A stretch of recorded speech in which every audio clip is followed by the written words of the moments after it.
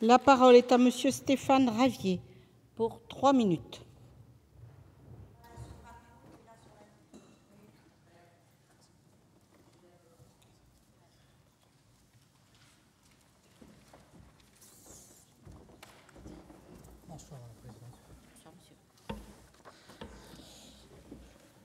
Madame la présidente, monsieur le ministre, mes chers collègues, mon temps de parole étant limité, je n'irai pas par quatre chemins.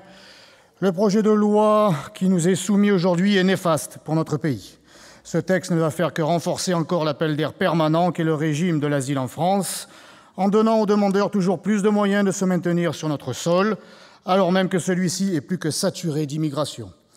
La majorité sénatoriale a voulu reporter l'examen du texte après la fuite d'un document interne de la Cour des comptes qui dénonce un système au bord de l'embolie, qui n'est pas soutenable à court terme et qui forme tout simplement la principale source d'arrivée d'immigrants clandestins en France.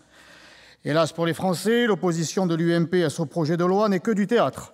La remarquable prestation de notre collègue Roger Karoutchi en est la parfaite illustration, puisque ce texte est la transposition fidèle de plusieurs directives européennes que la France est obligée de transposer sans délai, des directives que les députés européens de l'UMP ont votées au Parlement européen. De plus, les demandes d'asile ont doublé sous le mandat de Nicolas Sarkozy pour atteindre 66 000 cas pour la seule année 2013. Ce, ce seul chiffre nous montre l'ampleur du scandale d'une politique qui a été dévoyée de sa finalité première pour devenir aujourd'hui principalement une filière migratoire. Sur les quelque 66 000 demandes d'asile annuelles, les trois quarts sont finalement rejetées et plus de 95% des déboutés se maintiennent sans droit ni titre sur notre territoire.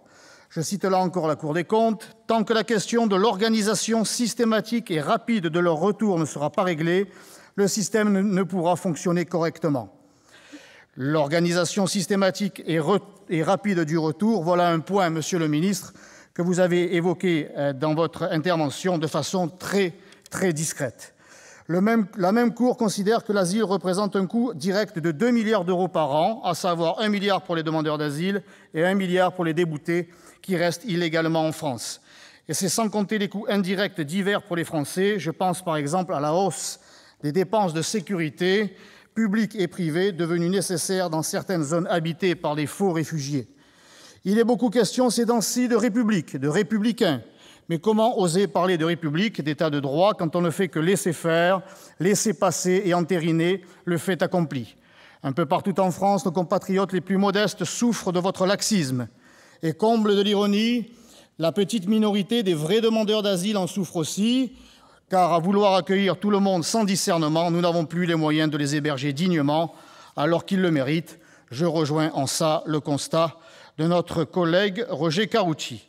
Enfin, ces vrais demandeurs d'asile vont immanquablement souffrir de suspicions légitimes que crée chez les Français votre laxisme.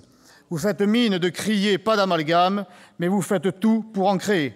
La gauche au pouvoir, comme l'UMP avant elle, est donc incapable de faire respecter la loi républicaine et la Cour, et la cour pointe même une forme de renoncement dans certaines préfectures à cause de l'absence de directives claires du gouvernement. En conclusion, ce texte, véritable machine à régulariser les clandestins, est d'autant plus néfaste qu'il semble déconnecté du monde où nous vivons, qui connaît des arrivées massives quotidiennes de clandestins sur les rivages de ce qu'un romancier devenu visionnaire a, quali a qualifié de camp des saints, et un monde qui subit aussi des persécutions de masse dans des pays où se déroule un véritable génocide des chrétiens d'Orient. En une phrase, qu'avons-nous à proposer à ces millions de réfugiés potentiels? Elle est là l'urgence, dans, un dans une véritable politique étrangère indépendante et certainement pas dans le vote de ce texte qui achève de transformer notre pays en passoire.